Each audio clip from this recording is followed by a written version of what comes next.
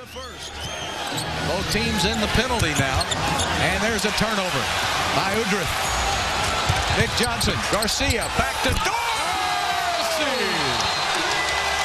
Oh, my goodness. Timeout, Memphis.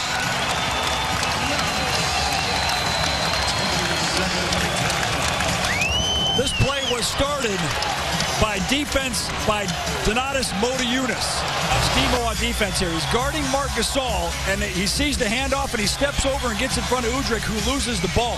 That, this, this one right here was started by defense by Demo and finished by Joey Dorsey with a monster slam. And Joey Dorsey making himself a factor these last five or six games off the bench. He's been he's been incredible.